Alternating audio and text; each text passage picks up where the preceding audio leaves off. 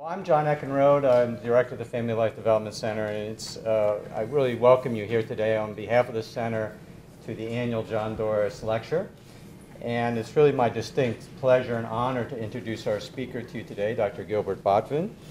Uh, he's standing very close to me so that the, he, I can pick up the mic here, but, uh, but we are friends too. So. I, I, didn't want anyone to get the wrong idea. I didn't want to get too close. Let me tell you a little bit about Gil um, before I turn the mic over to him. Um, he is a, a, fellow member of the Cornell faculty in the, in the city, being uh, professor of psychology in the departments of both public health but also in psychiatry at Weill Medical College. He also directs the Institute for Prevention Research there.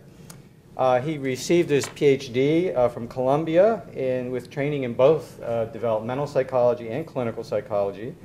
He's an internationally known uh, expert for his uh, pioneering work in the field of substance abuse prevention. Uh, he's been a prolific author, authored over 250 articles and chapters, and has been the recipient of numerous federal grants to support his work, too many for me to, to, uh, to document this, this afternoon. Among his many awards, I'll just mention one. In 1995, he was awarded a prestigious Merit Award from the National Institute on Drug Abuse um, and for those of you who know merit awards, these are only given to the most uh, uh, productive of the federally funded uh, researchers in the NIH, so it's, it's a distinct honor. He has contributed to many scholarly areas, but is perhaps most widely known for his work on prevention efforts in school-based settings, having developed a life skills training program which was tested and found to be effective in multiple randomized clinical trials, which I'm sure he'll talk some about today. Often, as we know, evidence-based programs do not extend beyond the research and development phase, with developers not really being able to establish an effective dissemination infrastructure after those efficacy trials. In contrast, uh, Dr. Botvin has ex excelled in that regard as well. He is founder and president of National Health Promotion Associates, which markets the Life Skills program, which is now perhaps the most widely used drug uh, abuse prevention programs used in schools today. His recent NIDA-funded research on models of effective diffusion of evidence-based programs also involves some of our colleagues here at Cornell. Bill uh, Trochim has worked with uh, Gil as well as Don Tobias in Extension.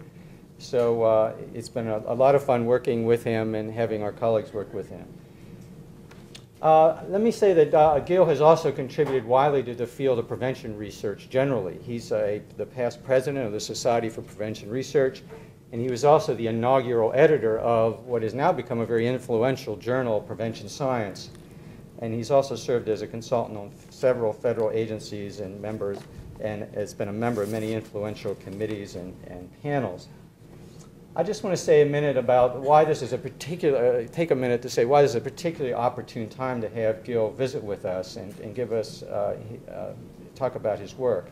As some of you may know, over the next, over the coming months, uh, the Family Life Development Center is going to be merging with the Bronfenbrenner Life Course Center uh, to be a new center called the Bronfenbrenner Center for Translational Research. Uh, more to come on that. There'll be announcements and events and so forth in the coming months. Uh, translational research involves many approaches, multiple approaches to the utilization of research knowledge uh, for the development of innovative programs and practices to benefit children, youth, and adults but also uh, it involves practices to uh, improve uh, the translation of, of practice-based wisdom to back to the research process. So it's kind of a circular process. This character actually characterizes much of the work of the two centers over the years, but we'll be seeking now to add some new and innovative programs and approaches to our efforts. And we also anticipate that this new center will embody a, a, new vision or an updated vision of the college's outreach efforts generally. Our center will indeed complement the work that's going on in the city in the biomedical and clinical areas with the Clinical and Translational Science Center. So we look forward to working with folks in the city at the medical college as well. So with that background, I mean, Dr. Uh, Botvin's work is very much in keeping with the mission of our new center, so we're thrilled to have him here today. And I'd like to have you all join me in welcoming Gil to Cornell, uh, up to the upstate part of the campus, and to the college. So thanks for coming. Uh, John, thank you very much for that uh, kind introduction. Uh, it's great to be here uh, up in Ithaca. I've been back and forth uh, a fair amount over the past uh, year. I've got a daughter who's a senior here at Cornell, a, nutrition science major. Um, I couldn't quite influence her to do exactly what, what I do in, in prevention, but nutrition is close enough. So I'm thrilled with that. It's great to be here. what I'm going to be doing today is talking about the work that we've done um, at Weill Medical College uh, in the Department of Public Health, in the division that I run, uh, which is the Division of Prevention uh, and Health Behavior, uh, I'm going to talk about the work that we've done in the area of uh, tobacco, alcohol, and drug abuse prevention, uh, the extent to which that work has broadened to include, include other health compromising behaviors. Um, I'm going to summarize some of the work that we've done over the last 30 years now. It's been nearly 30 years. Uh, and, uh, and then talk about uh, how this uh, leads naturally, that kind of um, experimental work leads quite naturally uh, to uh, work in translational research and the kinds of things that John and his group up here are interested in. And the group at the Medical Center, the Translational Research Center at Weill Cornell, are interested in in the area of biomedical research. Uh, let me say a word or two about how I ended up uh, going down this path uh, in life. Uh, like many things in life, uh, there is a fair amount of serendipity involved in, in, getting to where I am today. You all know what serendipity is, by the way. That's when you're looking for a needle in a haystack and instead you find the winning ticket to the New York lottery. Or better, maybe you find um, a free ticket to the Harvard uh, Cornell hockey game. I know last time I was up here, they were in short supply. So I ended up uh, down this path coming out of Columbia, not uh, knowing exactly what I wanted to do, but having an interest both uh, uh, in clinical and in developmental psychology.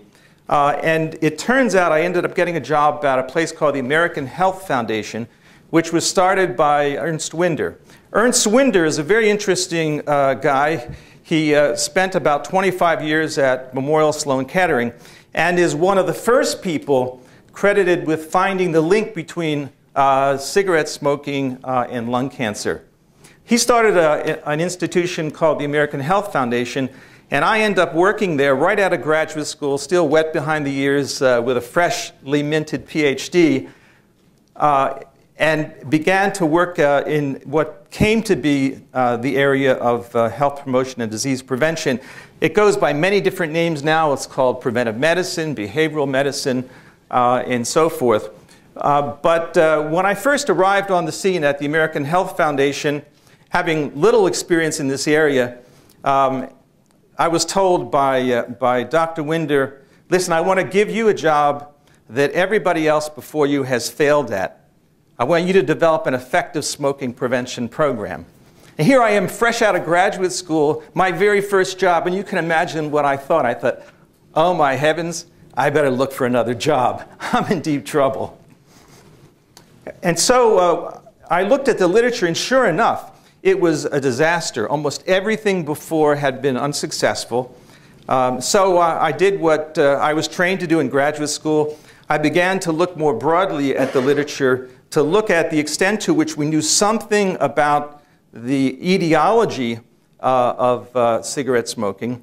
Uh, and there was very little uh, literature available at that time, but there were cer certain leads in the literature which eventually led, led me to a conceptualization of the problem, uh, which eventuated in developing the intervention that John mentioned, the life skills training program. So I'm going to talk about uh, our work with the Life Skills Training Program uh, and uh, talk about, in general, uh, advances that have been made in prevention science over the last uh, 20 or 30 years. I, I, say 30 years. I know you're all saying to yourself, 30 years, how is it possible? This guy looks so young. He couldn't have been doing this for 30 years. I started at an early age. This is, uh, by the way, a picture of um, our Department of Public Health, our chairman right, is right here in the middle. There's a picture of me on the end there uh, with my colleague and collaborator, uh, Ken Griffin, uh, on the side. the kind of work that we're currently doing in our, in our division um, and, and within the, the Institute, it focuses uh, in as broad as possible way on uh, health promotion and disease prevention. But over the years, uh, necessarily, uh, our uh, emphasis has been uh, somewhat narrower, and it stems from my early days at the American Health Foundation and the charge that Ernst Wynder gave me to develop an effective smoking prevention program.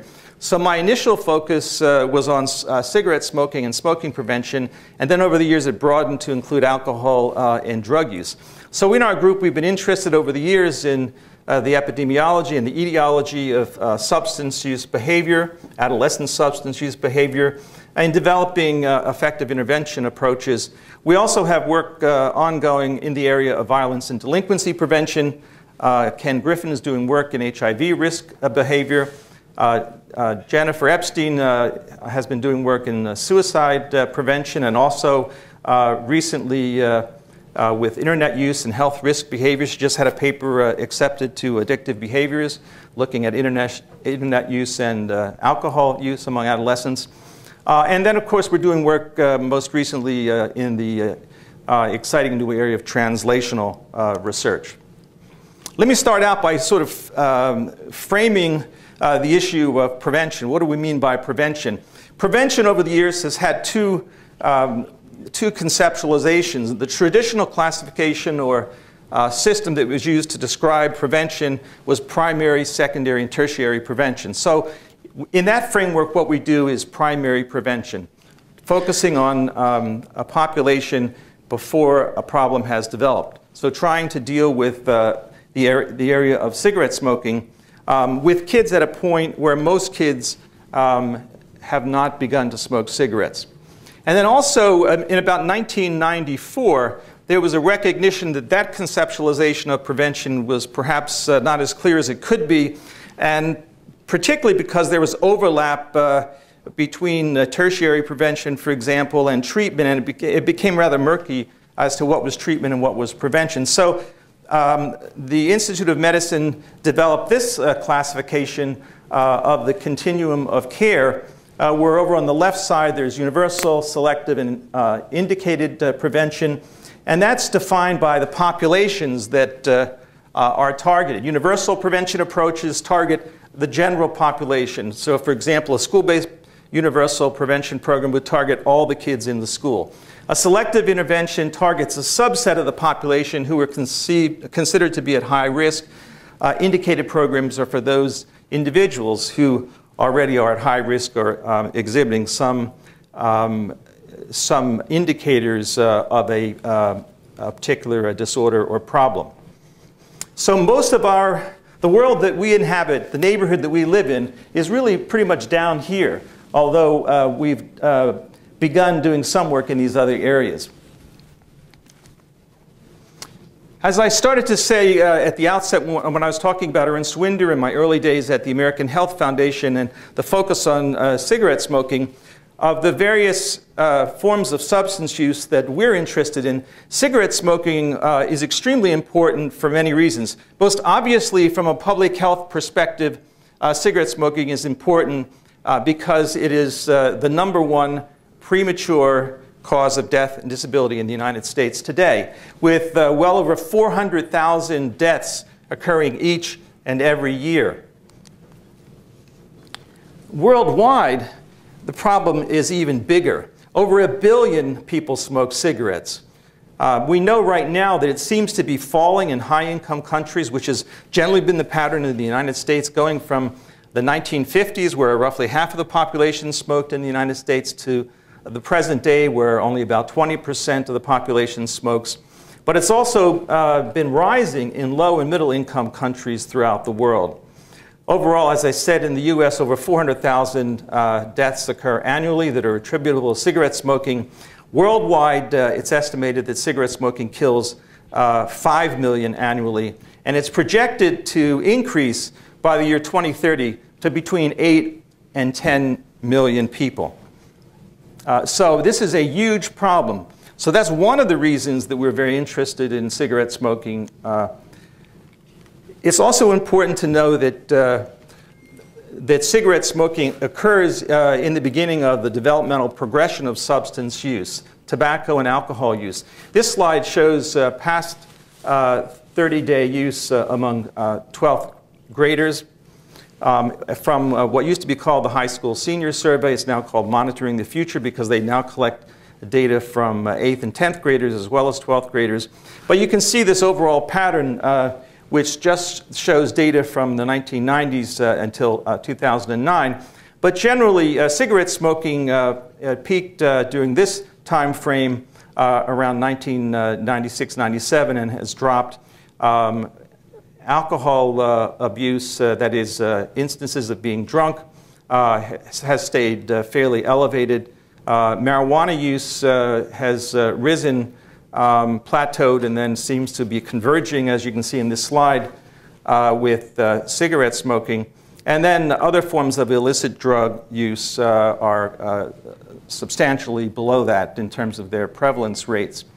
So it's clear from a, um, a, public health point of view, again, that tobacco and alcohol are two huge problems in terms of mortality and morbidity.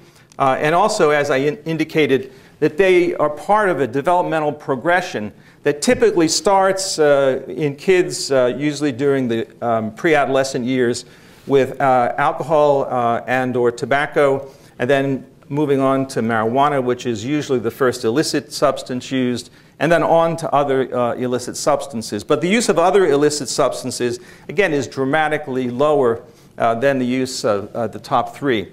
Now, doing uh, part of the progression, an interesting thing occurs with respect to inhalant use. Inhalant use peaks uh, around uh, the ninth grade and then drops off. So it defies this pattern where typically people start at one level with one substance, and the prevalence rate in society goes up until it plateaus and reaches the level of uh, the prevalence rate in the adult population.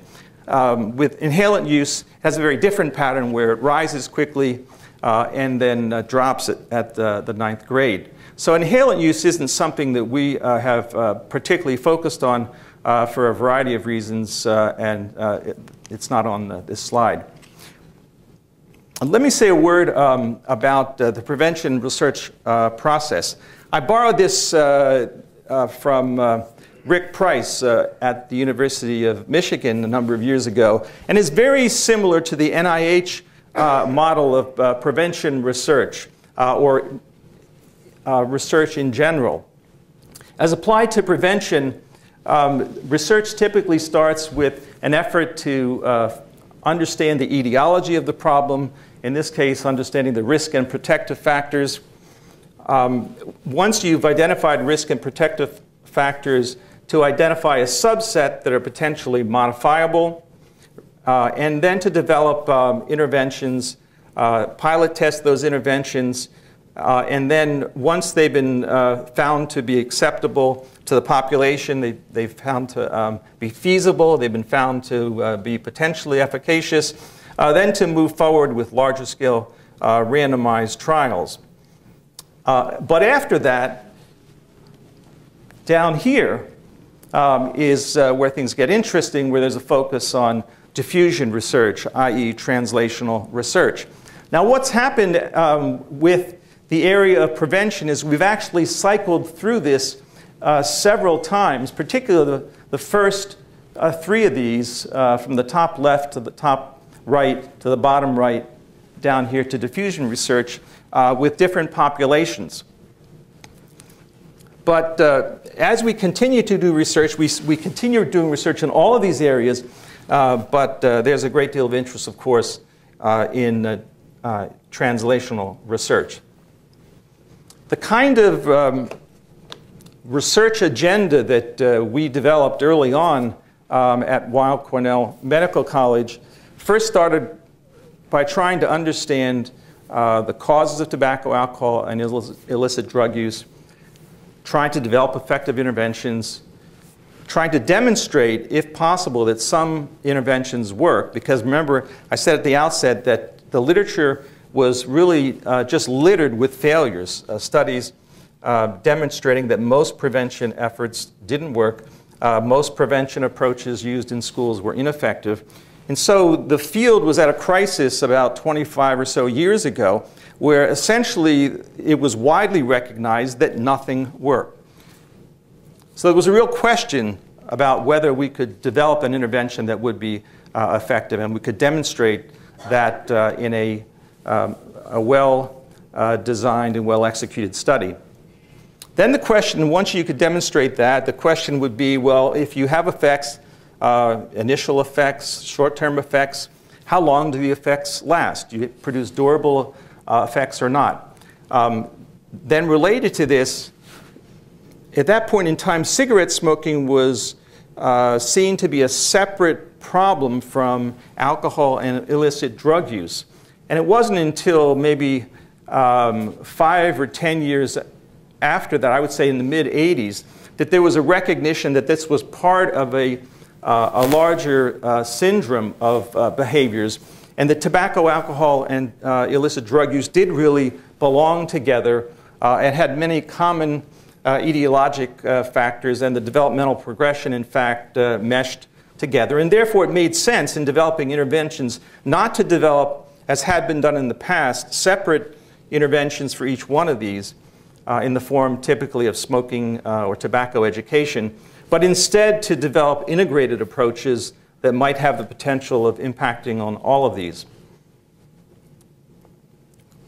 The next issue that uh, we're interested in thinking about and testing is do the effects generalize to other kinds of health behaviors? Um, or if you slightly modify the intervention, could you uh, have an impact on other uh, health risk behaviors?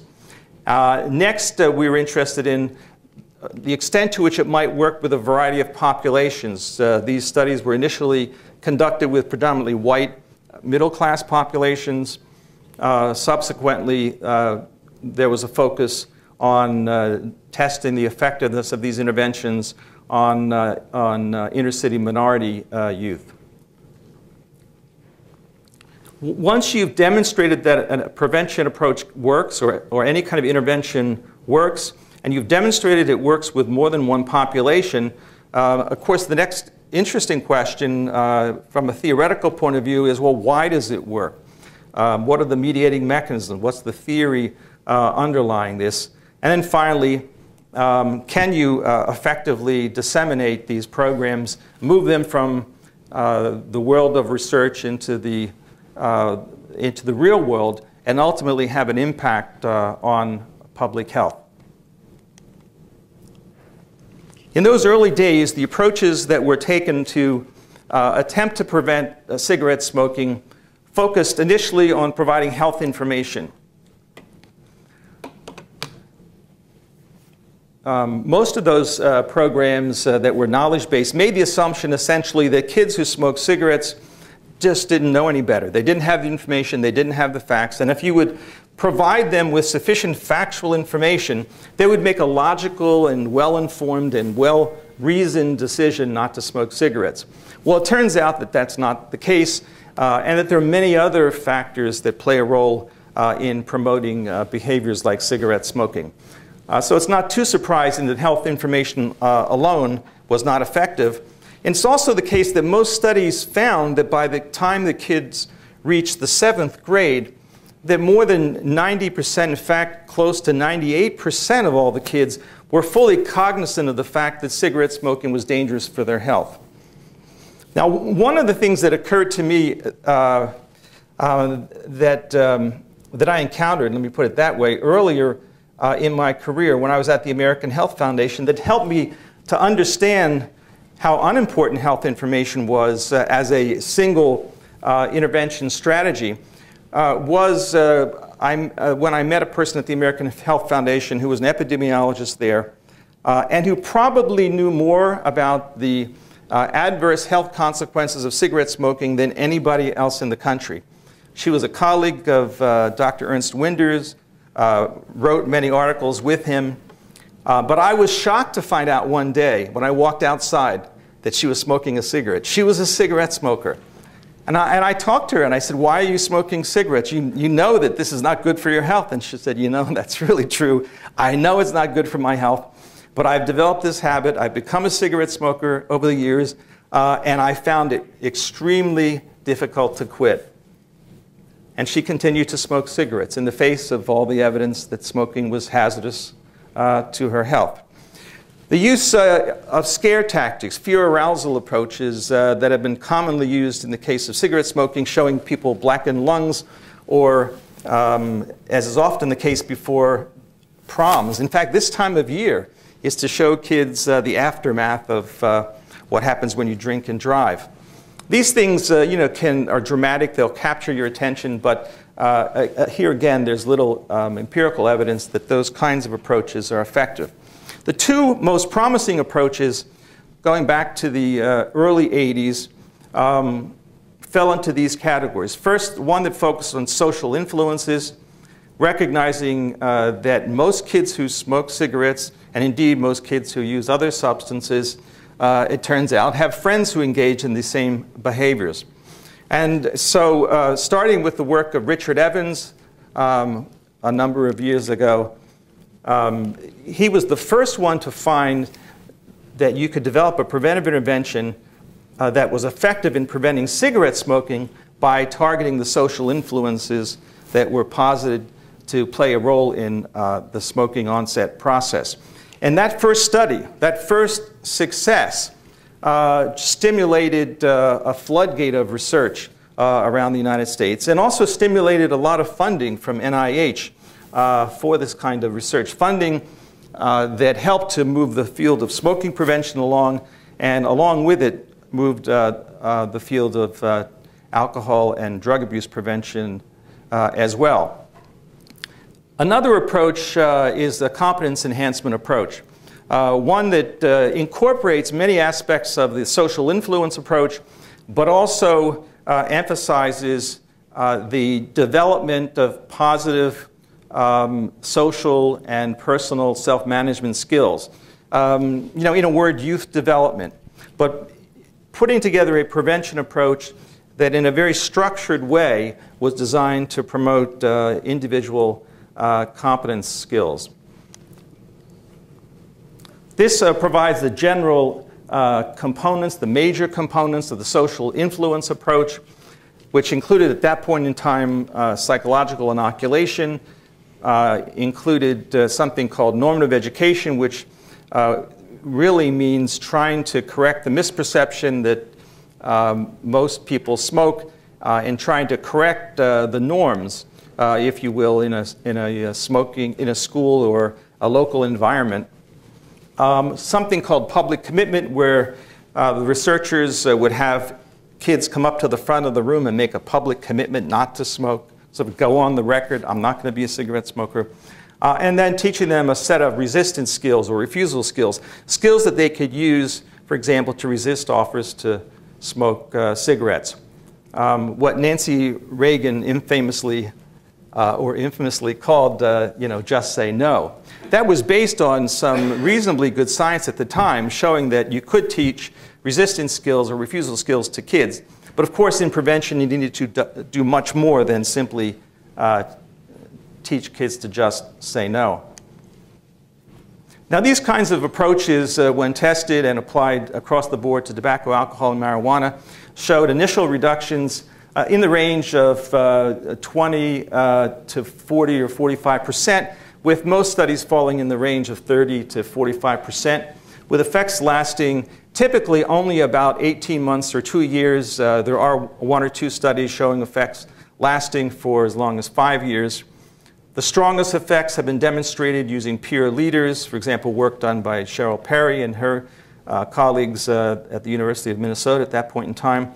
Um, there's uh, some evidence, although it's limited with minority youth, uh, and there are a number of important researchers who have been working in this area. Evans, uh, the first one I mentioned, um, Phyllis Ellickson at Rand, uh, David Murray, who's now at Ohio State, uh, Mary Ann Pentz, and uh, Cheryl Perry. Now, the competence enhancement approach um, has been used and tested by several researchers and several programs use that uh, approach. Let me just sort of pick one at random, just out of the, out of the blue.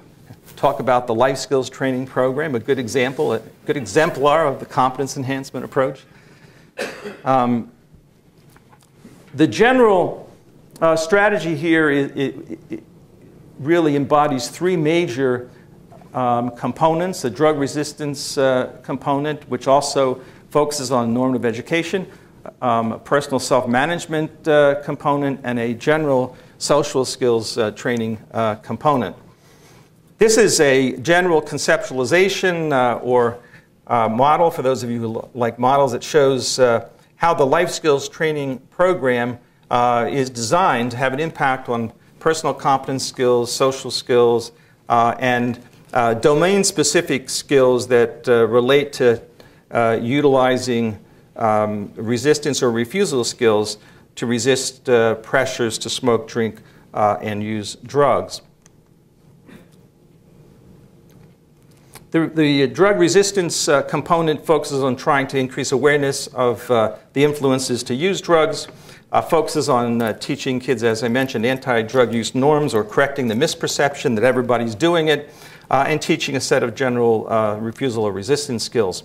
The self-management component uh, teaches general problem solving and decision-making skills in a fairly straightforward and simplified way, teaching kids a personal behavior change technology, a set of skills they can use to tackle uh, problems if they uh, are interested in um, becoming a better student or a better athlete. They learn how to set a goal, break it down into a series of smaller uh, short-term goals, uh, reinforce uh, themselves for their successes and, and move towards uh, achieving each goal sequentially step by step through successive approximation. And then teaching kids general stress and anxiety management skills. Also, as I indicated, general social skills, communication skills, greetings uh, and brief social exchanges, uh, which are particularly important uh, for kids when they want to uh, meet new people as they move from one school to another. They move into a new school. They go from elementary school to middle school uh, or from uh, junior high school to high school. Conversational skills, complimenting skills, and assertive skills. Now, the general structure of the life skills training program as it uh, interfaces with the school environment uh, is laid out in this slide. For middle schools, uh, the focus would be on 6th, 7th, and 8th grade, where the first year of intervention would occur in the 6th grade, uh, and with booster interventions in the 7th and 8th grade. Uh, in junior high, where most of our early research took place, the focus uh, initially was on the 7th grade with booster sessions in the 8th and ninth grade. Uh, as the program is currently constituted, it consists of 15 class periods in the first year, 10 in the second year, and five class periods uh, in the third year. Uh, we and others testing this approach or similar approaches have tested its uh, effectiveness with different kinds of program providers, uh, regular uh, school-based health educators, prevention specialists, um, peer leaders uh, and uh, you know, regular uh, uh, classroom teachers. Um, the most practical program provider for a program like this uh, is uh, either a health educator um, or a, a, you know, a regular teacher who has an interest in prevention and either teaching the program alone or in combination with peer leaders. Peer leader programs are effective, as Cheryl Perry and her group has demonstrated, uh, but uh, they're difficult to sustain and they take you know, a lot of uh, adult effort and supervision to sustain them. Um, but they, they can be uh, utilized uh, in a way that's effective. In this kind of prevention approach, uh, it's not just important to have the right kind of content in the intervention, so domain-specific material that relates to the problem of interest, tobacco, alcohol, or, or illicit drug use, as well as generic skills training, but also the way in which you implement the program, the way in which the program uh, is taught. It needs to use uh, interactive uh, teaching skills that can facilitate class discussion uh, or um, that relate to uh, skills training and providing reinforcement uh, for learning those skills and opportunities that are structured by the teacher both with respect to in-class practice and out-of-class practice via um, behavioral homework assignments. Now, in our group uh, at Weill Cornell, um, we've conducted uh, well over 30 studies published in uh, peer-reviewed journals, demonstrating the short-term uh, effect of this kind of prevention program in our early work, um, intermediate and longer-term effects. We've demonstrated its effectiveness uh, in studies with white uh, suburban middle-class kids, with white inner-city kids, with uh, minority inner-city kids, with uh, separate studies focusing on African American uh, youth uh, and uh, on Hispanic youth, um, as well as studies that really involve, as is typically the case in New York City, multi-ethnic groupings of, of kids. So this kind of prevention approach has been tested across the board with various populations. Um, it's been demonstrated to be effective uh, with uh, tobacco, alcohol, and uh, illicit drug use, uh, as well as with some other health behaviors, and I'll talk about that in a minute. In a minute. And in addition to our research group, uh, there's also been uh, independent replication of this by a few groups. I don't expect you to read this. This just sort of gives you a sense of the databases and the studies that we've conducted. The studies started out with small-scale pilot studies um, back in the the early 80s uh, with uh, two or three hundred kids, uh, and all the way up to studies involving uh, anywhere from three to 5,000 kids attending uh, 50 or 56 schools uh, in New York State. From a methodological point of view, um, in order to demonstrate that prevention worked, that preventive interventions were effective, it's important that studies be well designed and they, um, that they clear a reasonably high methodological bar. And that typically involves uh, not only uh, conducting randomized trials, uh, but in, in, these kinds of school-based studies, uh, you typically have cluster randomization where you're either randomizing whole schools to conditions or classrooms within schools. Uh, most of our work has really involved randomly assigning uh, entire schools uh, to um, one condition or another. It's important to uh, collect data in a way that underscores or emphasizes um, high quality data and that will give you reason to believe that the data are highly valid. Uh, we use uh, IDs uh, coded on the questionnaire so we can track individual students over time. In some of our studies, we've now tracked kids uh, not only through high school, but we've tracked them after high school uh, into their 20s, and we have one group of kids we're now trying to track in their early 30s. It's important to make sure that you test for pretest equivalence uh, and demonstrate that you don't have uh, significant pretest differences or that you don't have differential attrition or data loss, and that you use analytic approaches that are appropriate for this kind of research. Uh, and often that means uh, mixed model approaches or approaches that take into account uh, the ICCs or the intracluster correlations as well as other relevant uh, covariates. This is a, a, slide that just shows the kind of uh, form that we use, and we just generically refer to this as a student health survey. In our earliest uh, research, we uh, demonstrated uh, rather uh, strong effects on tobacco, alcohol, and marijuana in a series of studies in the early 80s, where we were able to demonstrate that we could cut uh, tobacco use uh, or other forms of substance use uh, in half, and in some cases by as much as 87% when you compare the group receiving the prevention program to the control group. We also found that over time, um, without ongoing intervention, there would be an erosion of the prevention effects, and therefore uh, it was clear that you needed uh, some kind of booster intervention or ongoing intervention.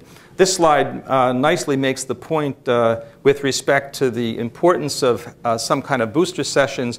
Uh, in both of these slides, uh, in, in, both of these uh, series of bars, the kids had the prevention program, the life skills training program in the seventh grade, in the uh, and then uh, the group in the uh, blue bar had it both in the seventh and the eighth grade. They had two years of intervention compared with the group in the yellow bar that had only one year of intervention and uh, the gray bar, which is the control condition. So even though we still had significant program effects after um, a year, that booster sessions not only help to maintain those effects, but in this case actually enhance the prevention effects. we've, as I mentioned, looked at uh, the longer term impact of this approach uh, with various populations. Uh, and you can see in a series of uh, these bars um, with uh, weekly smoking in terms of white middle class kids, minority kids, daily smoking in terms of our, our white sample, and daily smoking in terms of minority youth. And those reductions, uh, you know, anywhere range between uh, 20 and 28 percent. Now keep in mind that figure that I gave you at the very uh, outset, with over 400,000 deaths each and every year in the United States. Uh, if you could scale up a prevention program like this, an intervention of this kind, um, and implement it across the country, and you could produce a 25% reduction, which we've been able to demonstrate uh, in a study we published in JAMA following kids until the very end of high school. Um, that means that from a public health perspective, you would have the potential of saving 100,000 lives. So this kind of a uh, preventive intervention from a public health point of view can have a tremendous um, population benefit. But of course, you have to deal with the many challenges that come uh, from trying to take a, an intervention like this to scale. These are some additional slides that show prevention effects uh, with uh, multiple substances, polydrug use, narcotic use, hallucinogen use, uh, illicit drug use.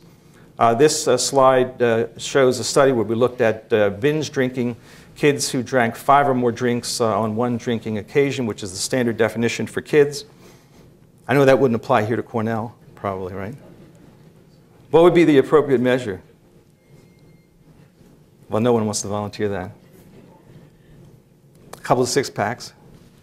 So anyway, binge drinking, uh, where you drink a lot on one occasion, but uh, which is a pattern that occurs with uh, kids as they uh, get to the end of high school, and it's certainly characteristic of kids drinking in college uh, where not drinking every day, but drinking a lot on any particular occasion. This is a study that was done by Dick Spoth and his colleagues uh, at the University of Iowa, published in the Archives of Pediatric and Adolescent Medicine, that looked at the impact of uh, uh the life skills training program uh, alone or in combination with a family prevention approach, and again showing that it can uh, reduce, in this case, methamphetamine use by about half. We've also uh, conducted some research funded by uh, NIDA, the National Institute on Drug Abuse, to look at uh, the extent to which this kind of prevention approach might have an impact on uh, uh, violence and delinquency. And this uh, slide from a study that was published in Prevention Science shows reductions in various kinds of aggressive behavior, delinquency, and fighting. so suggesting that this kind of approach uh, might well have uh, potential applicability to a, a, fairly broad range of health compromising behaviors. Another finding uh, that we uh, came upon quite uh, accidentally when we were trying to track kids, we needed to get access to data from New York State's DMV database. and in working with New York State, we, we got the data we needed to track the kids, but we also found that we had their driving uh, convictions uh, in that data that they gave us.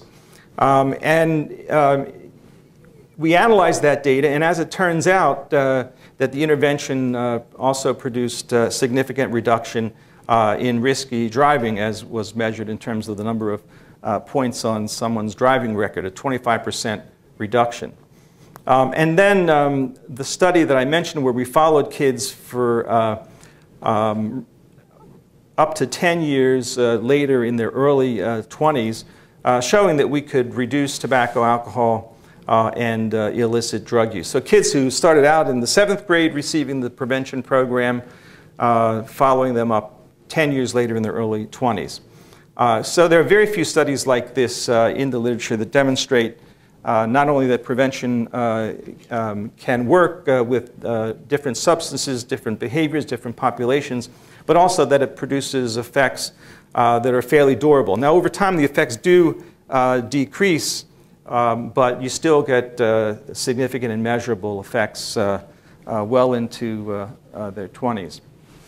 So, by way of summary, we've been able to demonstrate with the life skills training approach that we can cut substance use in half uh, that uh, the effects last for up to 10 years.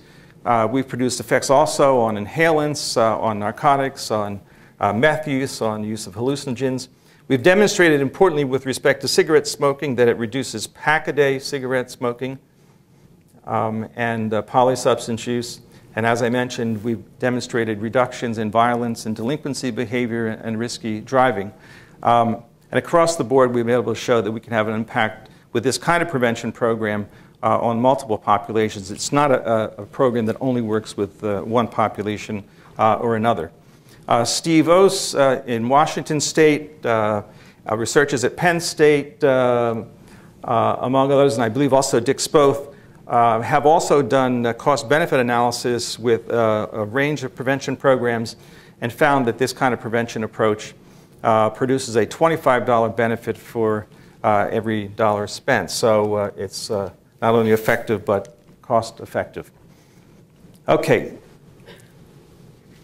after many, many years of painstakingly designing, executing uh, these studies, uh, and uh, you know, studiously publishing in the peer-reviewed literature, uh, it was clear that although we were having an impact on the state of the science and we were having an impact on policymakers uh, in Washington, um, we were making you know, headway with congressional uh, staffers and so forth, that in the real world, we really were not having an impact uh, on uh, kids, uh, uh, and we were not on track to have the kind of impact from a public health perspective that we hoped to have.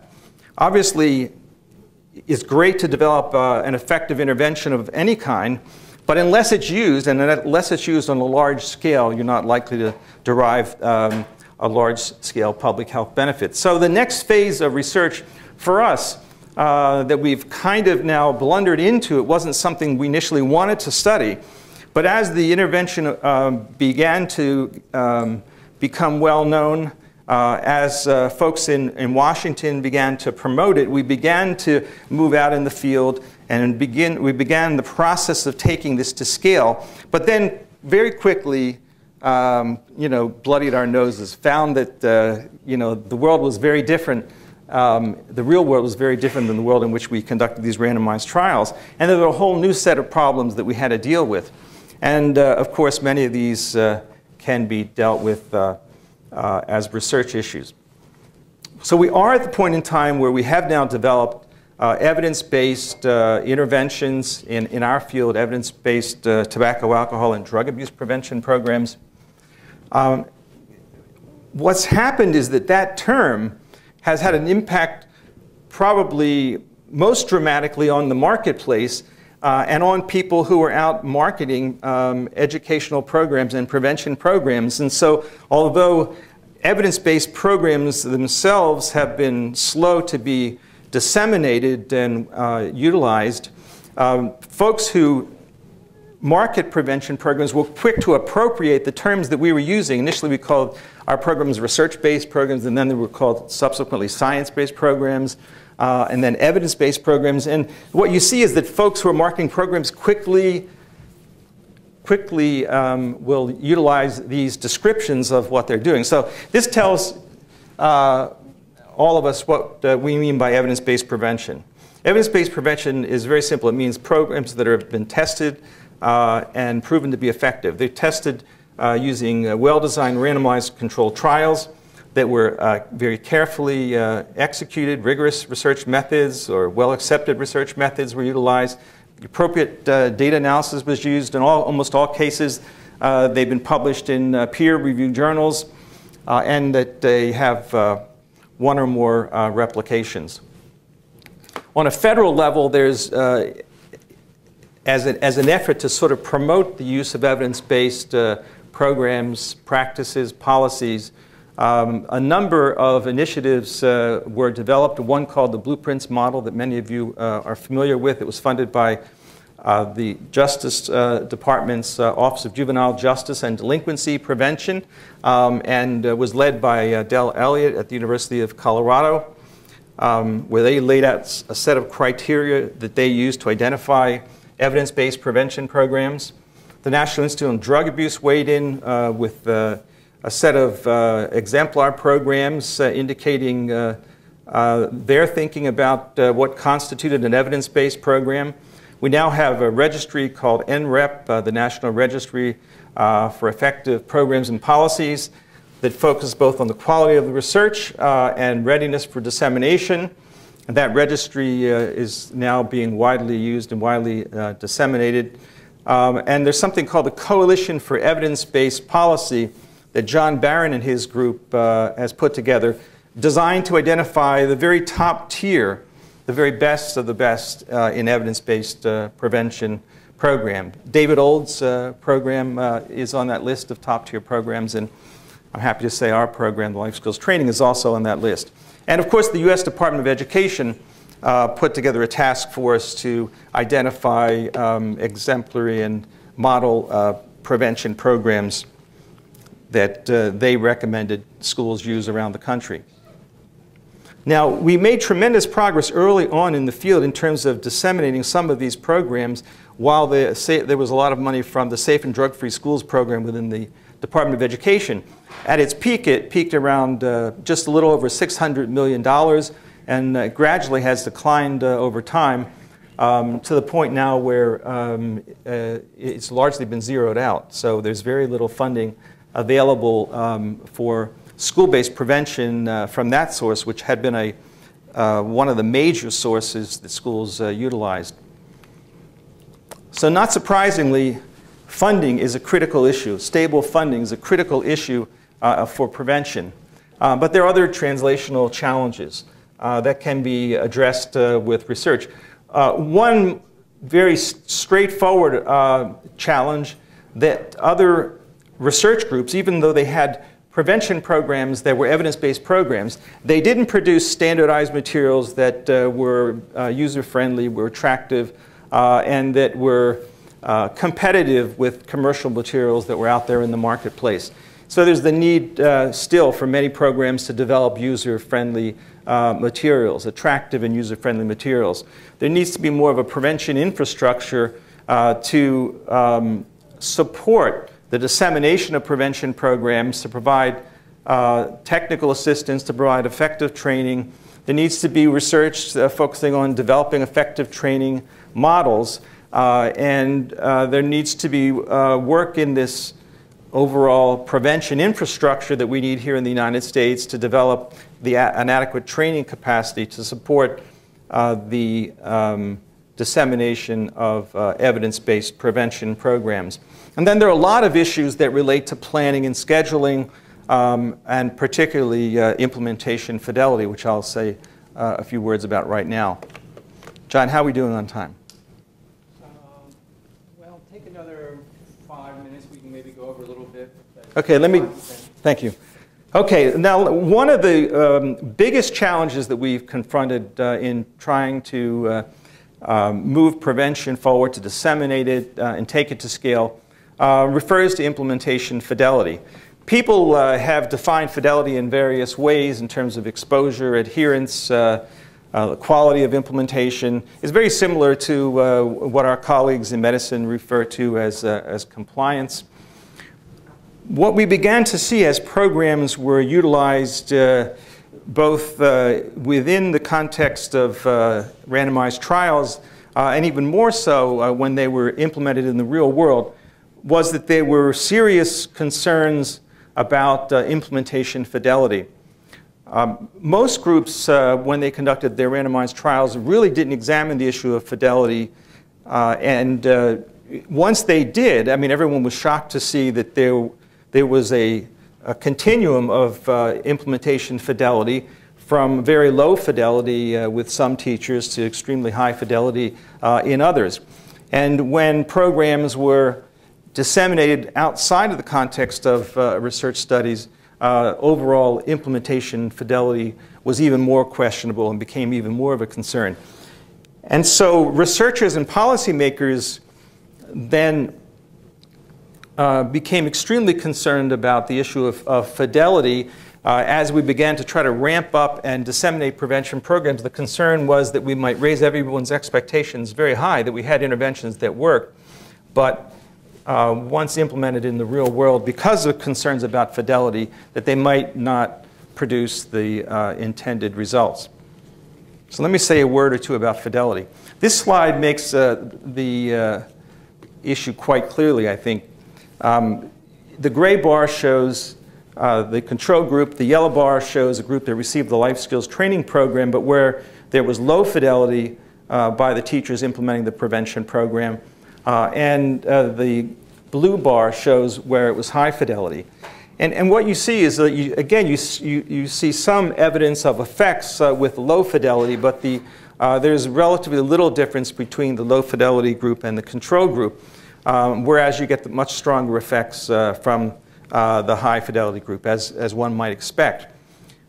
So in, in this early research that we did, it, it not only caused us to be more attentive to the issue of fidelity in our subsequent work, but it also, I think, helped to alert uh, the rest of the folks in the field that fidelity is something that really needed to be uh, taken quite seriously. And it, it's something that we needed to um, pursue as a researchable uh, question, um, you know, the extent to which we can uh, maximize fidelity. What are, the, what are the barriers to fidelity and how do you overcome or surmount those barriers?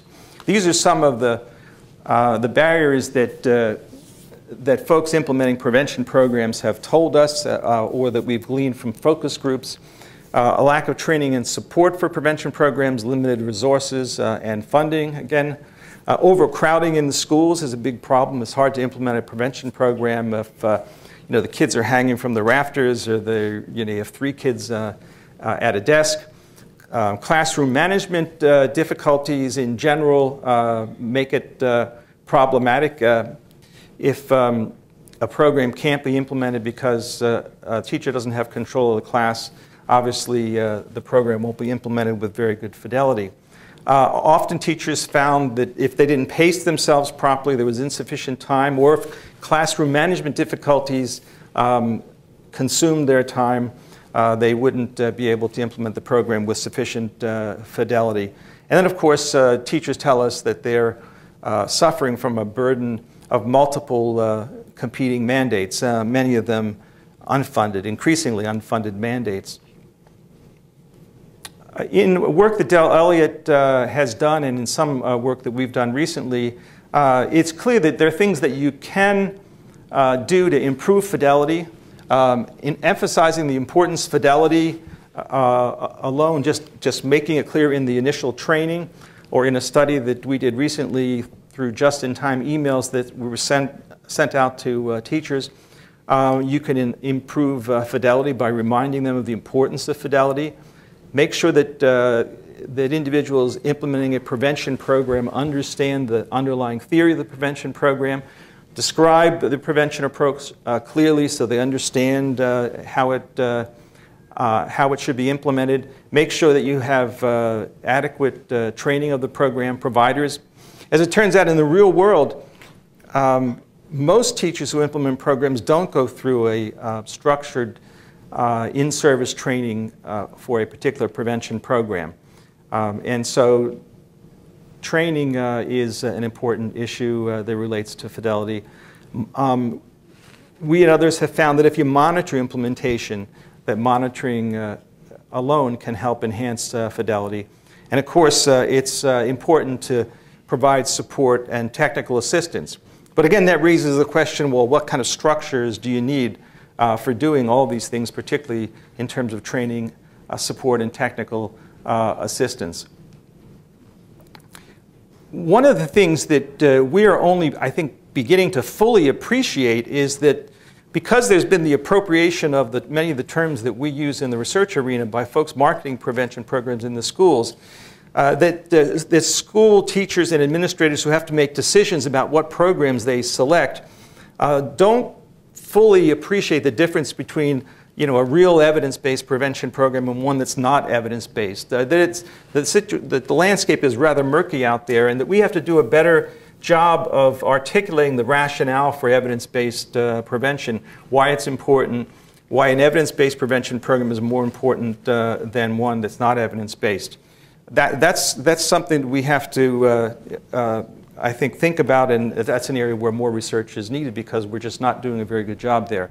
There are a number of factors that seem to affect the adoption decisions, uh, issues that relate to the flexibility and feasibility of the preventive intervention, cost, the appeal of the program, uh, and of course its efficacy. There are a number of uh, stakeholders that are often involved in making these decisions. I mean, they're made often in schools by uh, committees. Um, it's critically important that there be some attention being that's placed uh, on uh, planning uh, and capacity building um, before the initial training and, and definitely before an intervention uh, is mounted in a school. Uh, staff turnover is a big problem. It's often been the case uh, in our randomized trials as well as in other situations that uh, we've been involved in outside of our randomized trials that uh, teachers go through a training and a week or two after the training, uh, some of the teachers you've trained get reassigned and someone else is now assigned to implement the prevention program and that person now is untrained. So this is uh, uh, a problem that has to be dealt with. Teachers won't often utilize it. So TA can't be reactive, it has to be proactive, it's got to be feasible, it has to be easy for teachers to use, otherwise they won't avail themselves of uh, whatever TA uh, you uh, provide. And again, uh, on this slide, funding. Funding is critical to sustainability. Um, I'm getting to the end. um, so where we are as a field in, um, in uh, the area of prevention uh, is that we've developed a number of preventive intervention strategies in our particular uh, neck of the woods, uh, tobacco, alcohol, and drug abuse prevention strategies. Other workers have developed uh, strategies that are effective with uh, mental health problems, a whole host of, of health compromising behaviors or health related problems. So we've achieved a great deal of success uh, and uh, the field of prevention science has really advanced rather uh, dramatically over the last uh, 25 years. But we now have to deal with uh, issues relating to translational research, as I uh, foreshadowed at the outset. what we refer to as type 2 translational research there are um, others who have talked about many different uh, types of translational research. Uh, the, the one that the Society for Prevention Research uses uh, simply em embraces type 1 and type 2 research, type 1 being uh, what folks uh, at Weill Cornell are focused on, which is from the bench to the bedside, uh, and uh, type 2 being uh, the work that we're interested in, which really involves taking an intervention that's been found to be effective and then disseminating it, promoting the um, adoption the um, effective uh, implementation uh, and the sustained use uh, in a way that becomes institutionalized over time. So the, two, the three major research priorities uh, for the prevention field right now uh, first involves identifying effective strategies and structures for promoting uh, the adoption and use of evidence-based interventions or programs. Secondly, to identify strategies and structures for enhancing implementation quality while trying to, to uh, maintain uh, some degree of flexibility. Um, because as Rogers uh, has uh, uh, underscored, we know that without flexibility, people will tend to drop programs. So if a program is too rigid, if um, the demands to implement a program um, are, um, are too strict and too structured, uh, then folks will tend to uh, use programs that appear to be more uh, flexible. So it's important to develop uh, approaches that promote high implementation quality while at the same time allowing uh, some degree of uh, flexibility. And finally, to identify structures and strategies for building long-term institutionalization or sustainability. So these are the three broad areas uh, that all of us are now focused on uh, in the, the, prevention field. And I want to end uh, by just mentioning, uh, as John did uh, uh, in his introduction, um, a cross-campus project that we're doing um, with folks here at Cornell Ithaca. my colleague and I at Weill Cornell um, are uh, leading the study, which is a collaborative, a collaborative systems approach for the diffusion of evidence-based prevention. It's a five-year uh, study funded uh, by uh, NIDA within NIH. I'm the principal investigator. Uh, Ken uh, is a co investigator. And then serving as lead investigators um, at the College of Human Ecology is Bill Trochim and Don Tobias, who is executive director for the Cooperative Extension in New York City. So, this is a very interesting study. The overall goal, the overarching ultimate goal, is to increase our understanding uh, of how to effectively promote the dissemination, adoption, implementation, and sustained utilization of evidence-based uh, drug abuse uh, prevention. So it has a very uh, lofty goal. Uh, we have uh, several specific games, two of which relate to collecting data in focus groups and structured interviews that then are subjected to a technique that Bill Trochim and his colleagues use called concept mapping to help us to understand um, the, um, the barriers and how to overcome them, or how to possibly overcome the barriers uh, to uh, um, dissemination, adoption, implementation, uh, and sustainability. Uh, and then to use some of those uh, techniques to develop uh, what we're calling an adaptive approach that can be tested against a standard fidelity focused approach in a randomized trial where we'll look at both the impact on fidelity uh, uh, catalog the kinds of adaptations that are made by uh, program providers implementing the program, and also test its impact on student um, tobacco, alcohol, and illicit drug use, as well as on other related student outcomes.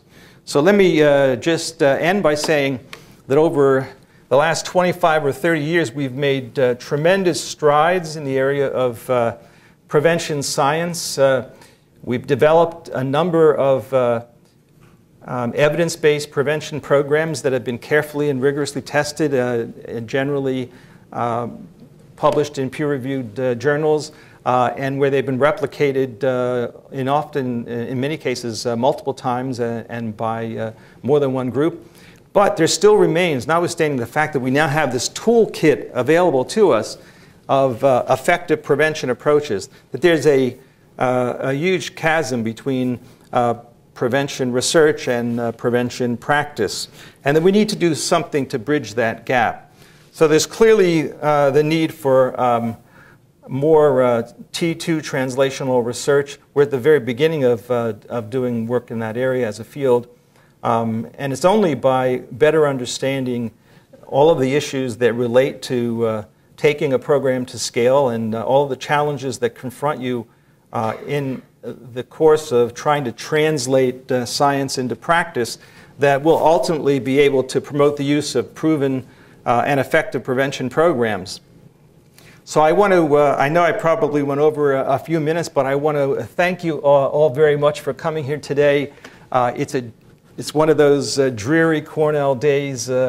I've been here enough to know that there are some nice days. Uh, there's some sunny days that occur once in a while. But I really want to thank you all for coming. You've been a very attentive audience. Uh, and uh, I, um, I hope to be back again uh, and uh, hope to be working uh, with John Eckenrode and his colleagues as they move forward with their new Translational Research Center here at Cornell. Thank you very much.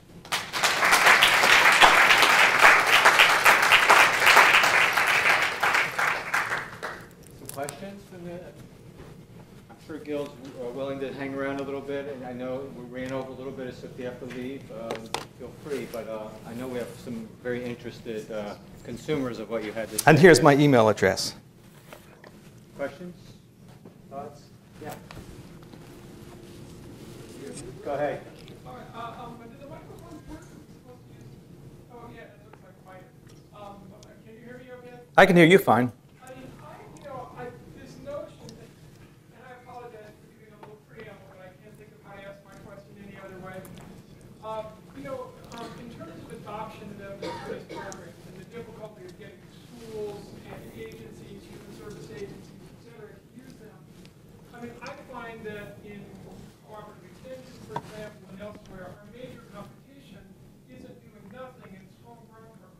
Ah, that's a good point, yes. Uh, but, uh, people can't observe um, why the evidence-based program is better than their home, um, when I look at agricultural extension at the university, it's much more straightforward. If a new seed is developed and yields a better crop, people make money even in the ensuing year. And, and there isn't the same issue around showing the evidence based on that. It seems to me it's so difficult, uh, you know, for a busy agency person whose own program looks as good as anything else and people are satisfied to look ten years down the pipe for a better outcome. So I was wondering, you know, is there a way, you know, to use the science of persuasion somehow to convince people that things are better than, you know, than their current practice, and how we actually do that?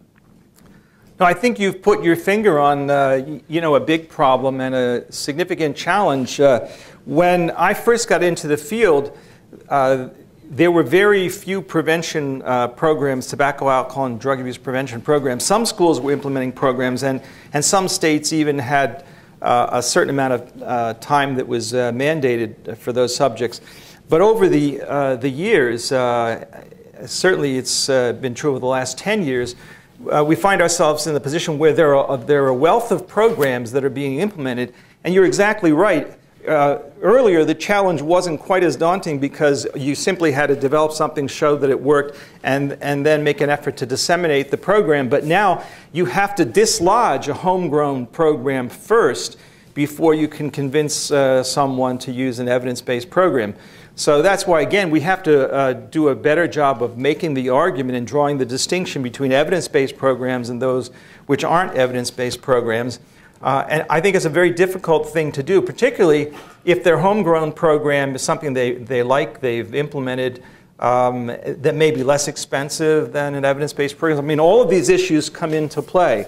So it's a big challenge. I mean, one way to deal with it would be if you had a surveillance system in place. If, if, if uh, the schools collected data um, every year on substance use and they essentially had a report card that graded them on uh, health compromising behaviors, uh, and you had these evidence based programs, then schools, um, if the programs were implemented properly and effectively, then schools would see that there was a difference. But what happens with most of these homegrown programs is they may have some degree of face validity, or at least they, they look like they might have a chance of working. Uh, and uh, um, th- there isn't any easy way to compare and contrast one with the other. One has evidence, but they often believe that theirs works. I remember when I first got into the field, um, when you talk to, and you probably have heard similar stories, when you talk to people um, about, about whether or not uh, they're implementing um, a prevention program, they'll say, yes, we've got that covered. We, you know, we're doing HIV, we're doing uh, tobacco, alcohol, drug use. And then you ask them, does their intervention work? Does their prevention program work? Well, they won't have uh, data, they won't have evidence, and so what they'll retreat to is their own position saying, well, I know it works. I see it in their eyes, I feel it in my heart. The kids really like the program, you know, they're really excited. Uh, you know, those kinds of things. And that's been, that was true 30 years ago, and it's still true today.